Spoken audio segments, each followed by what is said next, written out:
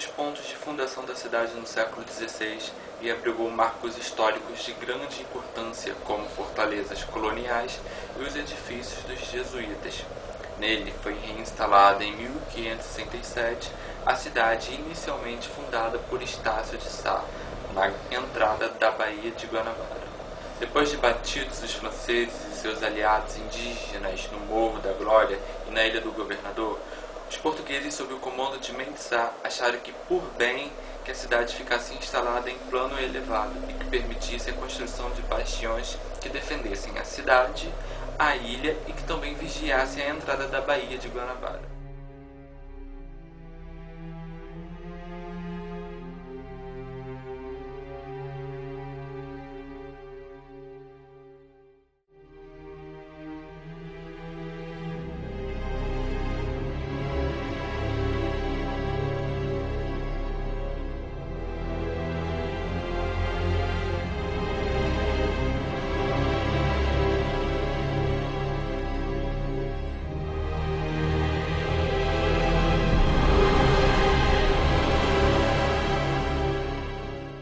Tempo de Dom João VI, era considerado prejudicial à saúde dos cariocas porque dificultava a circulação dos ventos e impedia o livre escoamento das águas. Ao longo do século, foi gradativamente considerado inviável para o progresso e urbanismo da cidade. Foi arrasado em 1921 pelo prefeito Carlos Sampaio com a desculpa de ser um espaço proletário, repleto de velhões, casarões e cortiços, no centro da cidade e, se necessário, para a montagem da exposição comemorativa do Centro de Independência do Brasil. Suas terras foram usadas para aterrar parte da Urca, da Lagoa Rodrigo de Freitas, do Jardim Botânico e outras áreas baixas ao redor da Baía de Guanabara. Já a lenda do Morro do Castelo refere-se a um fabuloso tesouro oculto em galerias secretas em suas entranhas pelos jesuítas em tempos coloniais. Pesquisadores atualmente acreditam que os túneis realmente existiram, embora sem conexão com o suposto tesouro.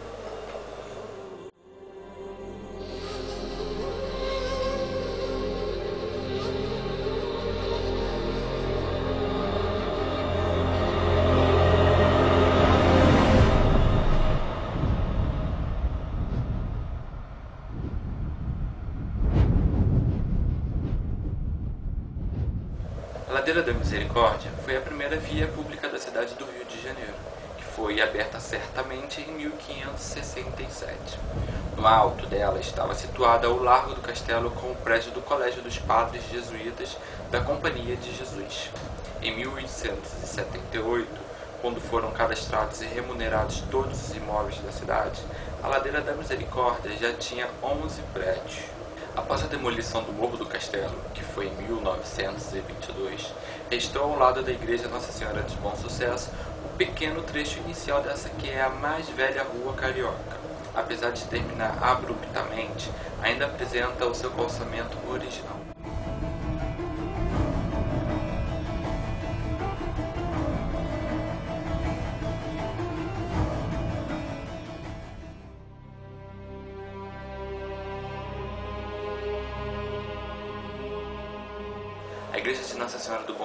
Se localiza no centro da cidade do Rio de Janeiro, na rua Santa Luzia, próxima à Praça Marechal Âncora. A igreja é derivada da antiga Capela da Irmandade da Misericórdia, estabelecida na cidade dos primórdios da colonização. A história da igreja remonta à construção da Capela da Misericórdia da cidade em 1585. A igreja atual, porém, foi reconstruída em 1780 para integrar o complexo da Santa Casa da Misericórdia do Rio de Janeiro. Nos inícios do século XIX, a fachada foi alterada e no interior foi acrescentada uma cúpula. A igreja contém três retábulos e o púlpito da demolida igreja jesuítica da cidade, localizada no Morro do Castelo. Estes elementos foram transferidos à igreja do Bom Sucesso após a demolição do morro em 1922. Os retábulos são das maiores periculosidades artísticas do Rio de Janeiro. São os únicos da cidade e dos poucos do Brasil esculpidos em estilo maneirístico.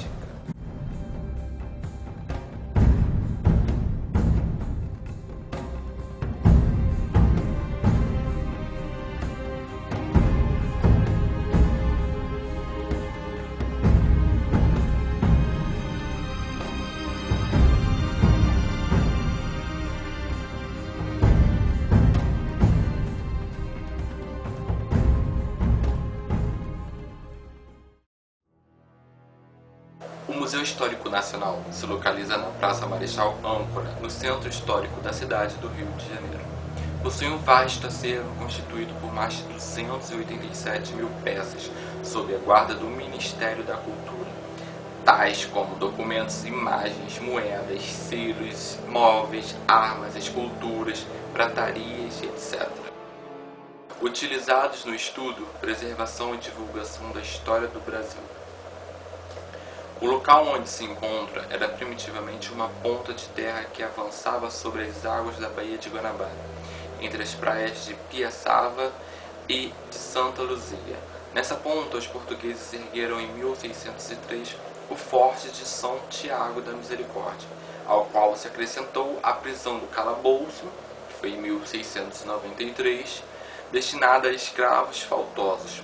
Também a Casa do Trem, foi em 1762, depósito de trem de artilharia, armas e munições, e o Arsenal de Guerra do Rio de Janeiro, que foi em 1764, e o quartel, que foi em 1835.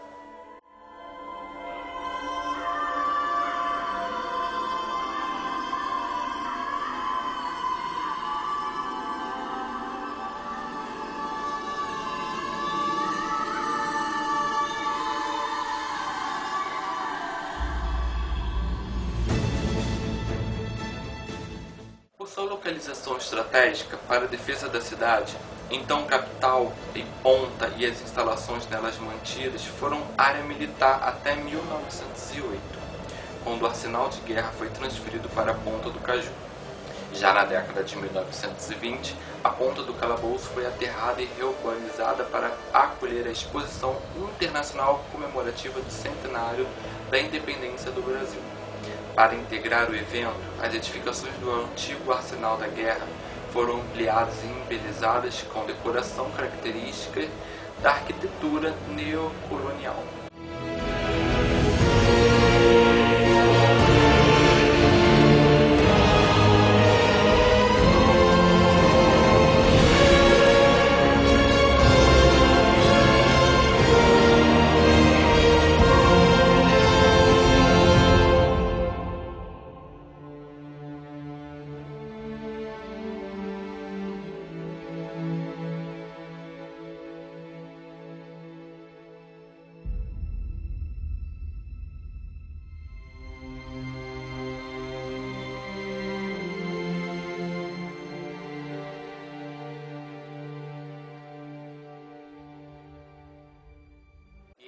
De outubro de 1922, foram abertas ao público, compreendendo o Palácio das Grandes Indústrias, um dos pavilhões mais visitados da exposição, e duas galerias do Museu Histórico Nacional, criado também em agosto daquele ano pelo então presidente da República, Epitácio Pessoa, que foi de 1912 e 1922, visando dotar o país de um museu voltado para a história do Brasil. E atualmente o museu ocupa todo o conjunto arquitetônico da antiga Ponta do Calabouço, constituindo-se no mais importante museu histórico do país, em expressivo centro gerador de conhecimento. Abrigou o primeiro curso de museologia do país, mantendo-se até os nossos dias como referência para a constituição de importantes museus brasileiros.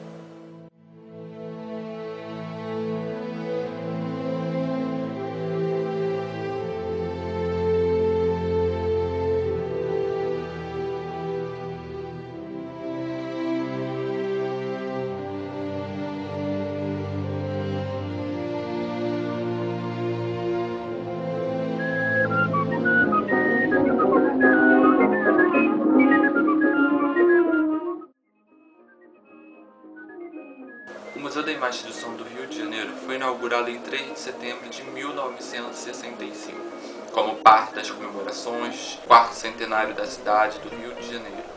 A instituição lançou o gênero pioneiro do museu audiovisual, que seria seguido em outras capitais e cidades brasileiras, além de ter se qualificado como centro de documentação de música e imagem. Foi também um centro cultural de vanguarda nas décadas 60 e 70 do século XX. lugar de encontros, de lançamentos e de ideias e novos comportamentos. O prédio da Praça 15, tombado em 1989, é em si mesmo uma das mais belas peças de sua coleção, constituindo um exemplar histórico raro dos pavilhões construídos para abrigar a exposição do centenário da independência do Brasil, foi realizado em 1922. Em 1990, o prédio passou por uma grande restauração que desenvolveu o Fausto do estilo eclético original, desfigurado pelas intervenções que ao longo dos anos modificaram sua fachada. Além desse prédio da Praça 15, o Museu da Imagem e do Som começou a ocupar nesse mesmo ano um outro edifício localizado no bairro da Lapa. Essa sede é atualmente ocupada por setores administrativos do MIS, que é o Museu da Imagem e do Som, e abriga parte do acervo disponível à pesquisa. Cantigas, dando alegria a quem chora. Bum, bum, bum, bum, bum, bum, bum, bum, bum, bum, que a minha canção vai dissipar a tristeza que mora no teu coração. Já em 2009, após uma concorrência internacional, foi eleito o projeto vencedor para a nova sede do museu, que irá substituir a antiga. O vencedor da disputa foi o escritório americano, que tem previsão para conclusão em 2015. A nova sede será localizada em Copacabana e visa se tornar o templo de identidade carioca e um ponto de encontro para a população e para turistas brasileiros e também para estrangeiros. A nova sede vai abrigar também o Museu Carmen Miranda, hoje que fica localizado em um pequeno prédio no Parque do Flamengo. Assista agora um pedaço, um pouco mais sobre nosso novo Museu da Imagem e Som, que vai ser localizado em Copacabana. Brasil brasileiro,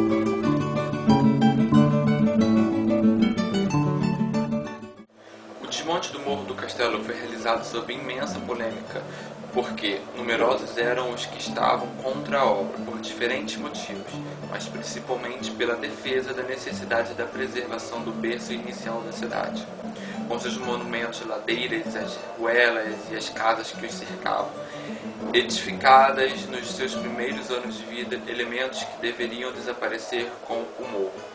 Mas apesar de todas as dificuldades, o morro foi demolido. O material retirado do desmonte foi utilizado para aterrar a área em frente ao atual Museu Histórico Nacional e a Praia de Santa Luzia, até alcançar o obelisco da Avenida Rio Branco e o Aterro da Glória, que deu início ao imenso Aterro do Flamengo, ganhando ao mar o imenso espaço que serviu para modernizar a cidade.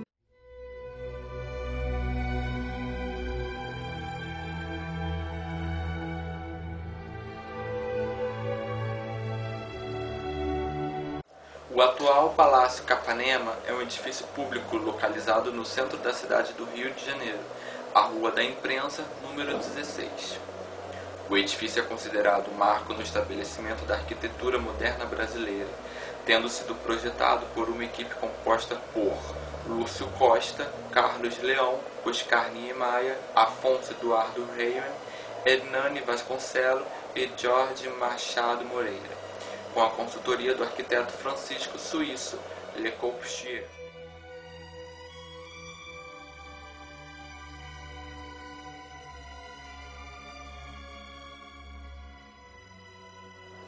O projeto do edifício desta forma é ensaiar a utilização da arquitetura funcionalista de matriz corposiana no país, além de introduzir novos elementos, foi constituído em um monumento durante o qual o Estado tentava passar uma sensação de modernidade ao país, o que se refletiu tanto no projeto do edifício quanto no contexto histórico em que se inscreve. A construção ocorreu entre 1936 e 1945 e o edifício foi entregue em 1947.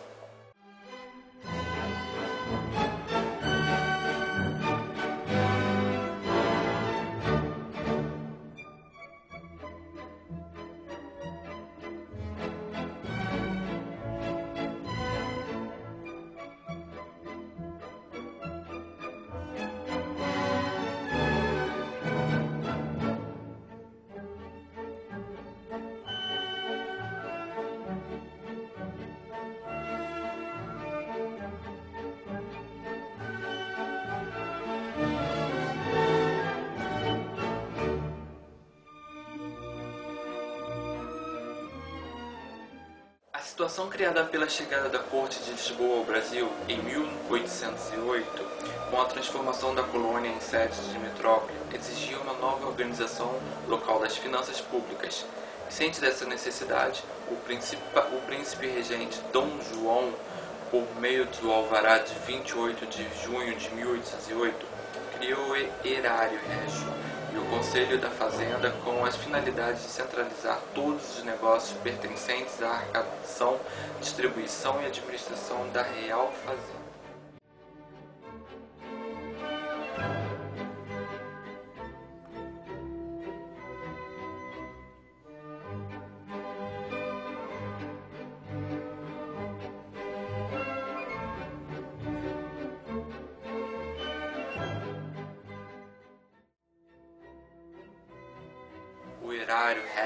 Operou inicialmente nos moldes do Real Erário de Lisboa e transferiu temporariamente o poder decisório sobre as finanças da coroa para o Brasil.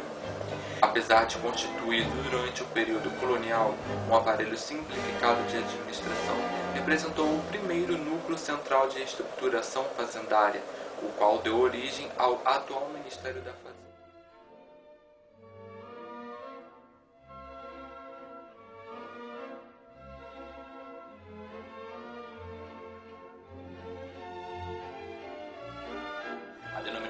Ministério da Fazenda só foi oficialmente adotada em 1891, durante o governo de Deodoro da Fonseca, com a implantação da República. A esse respeito, cabe assinalar que os nomes fazenda entram em uso no Brasil para designar os haveres, bens e produtos de crédito e contribuição, assim como a renda da nação, como estes recursos eram providos principalmente das licenças limarárias, terras destinadas à produção, termo tomou então o significado de finanças.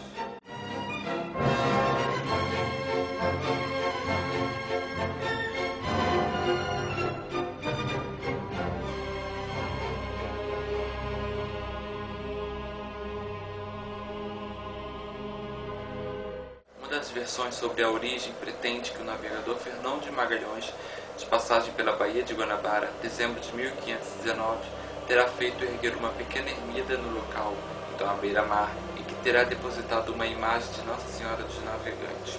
Já a outra versão atribuiu essa origem a uma capela erguida por religiosos franciscanos, quando a sua chegada em 1592. No contexto da transferência da corte portuguesa para o Brasil, João VI de Portugal mandou abrir a Rua de Santa Luzia em 1817, que alcançava o Conde da Ajuda para poder transitar com a sua carruagem até a igreja, em cumprimento do pagamento de uma promessa formulada para que o seu neto, o infante Dom Sebastião, ficasse curado de uma moléstia que tinha nos olhos.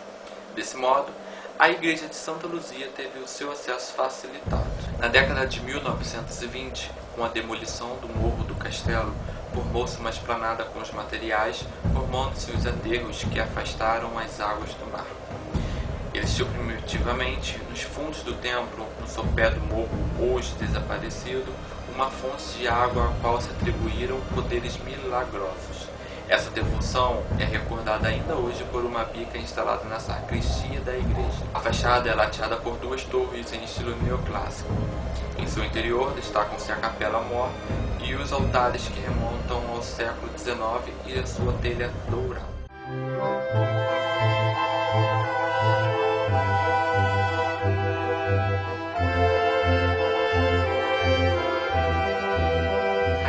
Instituição Literária Brasileira é fundada na cidade do Rio de Janeiro em 20 de julho de 1897, quando escritores e intelectuais brasileiros desejaram criar uma academia nacional nos moldes da Academia Francesa, que foram Machado de Assis, Lúcio da Mendonça, Inglês de Souza, Olavo Bilac, Afonso Celso, Graça Aranha, Medeiros e Albuquerque, Joaquim Nabuco, dentre outros composta por 40 membros efetivos e perpétua e por 20 sócios estrangeiros.